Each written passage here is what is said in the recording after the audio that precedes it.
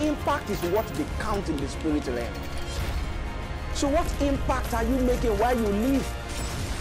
Stop counting your hate, start counting your impact. Welcome. This is Apostolic Charge Broadcast with Apostle Lawrence Bomilo. Stay charged to be in charge. Naturally, when it's come, getting to the end of the year, prayer increase tensions everywhere. eh, oh, just calm down. You are like that widow of Zarephath that was about to eat her last meal and her son, and they are waiting for death. But they came in contact with the anointing for overflow. Get ready for overflow experience because what is insufficient is going to be more than enough to feed you and also to feed more than a nation. Welcome to Apostolic Charge Broadcast on AGN Television. This is Apostle Lawrence Bamilo. Don't ever let anything put you under prayer to the point that you now become depressed and you want to commit suicide. No, no, no, no, no. That's not the next thing for you to do. There is an adage in this part of the world that where there is a killer, there is also a savior. Níbi tí apaniwa ni agbaniwa. There might be pain in your body, there might be bills to pay, and yet there is no money. You have a project that is standing still and not moving, and yet you are believing God, when will this be done? You had a plan at the beginning of this year that by so, so, so, so, so, so time, this should have been done, this should have been done, and things are not moving the way they are supposed to. Calm down and relax because this broadcast is for you. God asked me to tell you, welcome to your season of overflow. Your little is about to turn abundant. Remember the story of widow of Zarephath. Was just to prepare snack for her son, and then they would die because there was famine in the land. It doesn't matter the economic situation of your country or continent. If you will believe, all things are possible to them that believe. But the moment the widow of Zarephath came in contact with the anointing for overflow through the ministry of Elijah, everything turned around. What was supposed to turn upside down turned around. This little in your hand is about to overflow. You will have more than enough. Those who have gathered and mock you behind you and in front of you, that what can your little become? What can your little produce? What can your little do? What can you amount to? Relax. By the reason of this declaration, you will have more than enough. You will have overflow overflow of abundance. He prepares a table before you in the presence of your mocker, your enemy, those who doesn't like you, those who are emotionally overclouded, those who just have certain expectation that you shouldn't be at this level of greatness by now, those who have certain expectation that your life should not move forward, maybe because they knew you when you were young and they felt like God is too good to you and God is taking you too fast. they have not seen anything because God is about to take you further than where you are. Get ready for anointing for overflow. He prepared a table in the presence of my enemy, and he anointed me, and my cup run over. My cup overflow. Your cup is about to overflow. Your little is about to become abundance. Will you stretch forth your faith right now? Stretch forth your two hands and say, Father, the little in my hand I present to you, let it overflow. I key into the covenant of overflow through your servant. I position my family, I position my life, I position my ministry. These times last year, a man has been fasting and praying. So his wife told him, I said, Don't kill yourself. Please, don't kill yourself. So they put a cord through the prayer line. And then he said, After you prayed for me, sir. a friend remembered me from another country and continent, and the friend said, I'm looking for who I want to invest through. And your name just dropped on my mind. Long story cut short, the man sent over 9 million Nigerian currency as at that time. That's about 11,000 US dollar as at this time last year.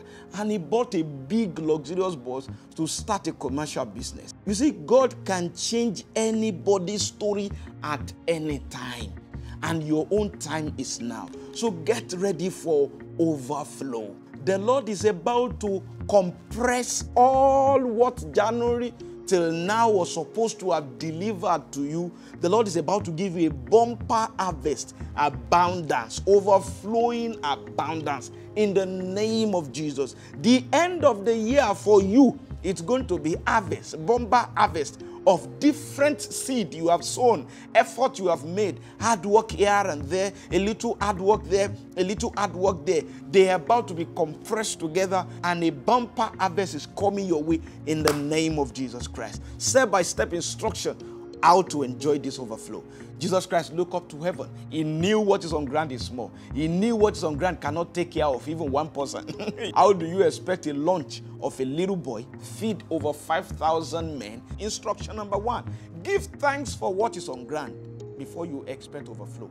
Give thanks. Thank God for what God is doing currently. The level you are currently is a prayer request of somebody somewhere. You see, this little in your hand is somebody's breakthrough somewhere. So give thanks for what is in your hand. Jesus knew that this little need to overflow, but he looked up to heaven and gave thanks. After he gave thanks, then he make a demand on the covenant of abundance, covenant of overflowing blessing. So, are you ready? Open your mouth where you are right now and give thanks for the level you are. Say, Father, I acknowledge it. I am not going to minimize it because of what I need right now. I thank you for the current level I am. I thank you for what you have been doing since the beginning of the year. I thank you for numerous provision. I thank you for seeing me through as those critical hour when I needed you most. I am not so carried away the time you rescued my family, the time you rescued me at one point. You remember what God has done for you. Open your mouth and give thanks. Say, Father, I am grateful. I'm never a grateful. Give thanks for what is available so you can attract what is not available. Father, I am grateful. Skiliti neande rabako shanke adabata. Yana makuri abakatensta. Father, we are grateful. In Jesus' name we have prayed. Now, step number two. Jesus Christ is the one that have the multiplying effect to multiply this little on grand and even give you overflow. Okay, now you shut the door against Jesus. You have shut the door against miracle. No matter how fireful any man is, he's still calling the name Jesus. Hmm, forget about the one that are fake. Will you want to reconcile with Jesus or you give your life to Jesus properly? Put your right hand on your chest as a sign of surrender. Say, Father, I am a sinner. I am stranded. I'm in a tight corner. My life need you most right now. And I humble myself. I acknowledge myself a sinner that I don't even deserve your mercy. I don't deserve your forgiveness. But I know you are able to show me mercy. Please forgive me. I promise from now I will serve and do your will. In Jesus' name I've prayed. I prophesy that may the Lord show you mercy, clean you, and give you a new beginning right now in the name of Jesus. Now go to a church where they are preaching the word of God. Join them so you can start growing. Join workers in the church. If you serve God, God will service you. Now, finally, remember that little boy. He gave the little he had. When what is in your hand is not sufficient, it is time to turn it to a seed. Because when you sow a seed in the ground, a fertile ground, then it grow and give you multiple harvest. The widow of Zarephath that I told you the other time, she had only what she was supposed to eat and her son and die. And yet Prophet Elijah said, Go ahead and prepare it for me and let me eat first. If it is in today of social media, they will drag you and tell you that, say wicked men of God. And why will you see a woman that you are even supposed to give to? But you see the prophetic and supernatural, they work against the wisdom of men. Are you ready to obey God? This little in your hand, will you sow it right now? Go to your church this Sunday and drop a seed.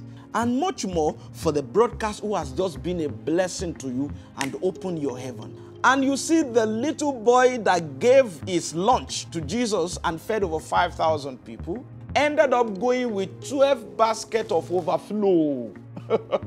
the widow of Zarephath, after she gave a little, when the anointing came over it, she became a merchant from somebody that was supposed to eat and die. She became a seller.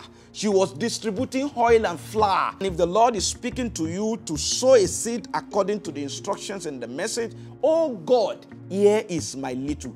Please make use of the information on your screen and send the message or put a call through. I would like to pray with you. Your testimony will humble every one of us in the name of Jesus. I will see you in the next broadcast. Thank you for being part of this broadcast. This broadcast was brought to you by the continuous giving of friends and partners of Apostolic Grace Network Africa. To join the AGN Air Force, please visit apostolicgracenetwork.org or call 234 708 222 0300. Until next time, God bless you.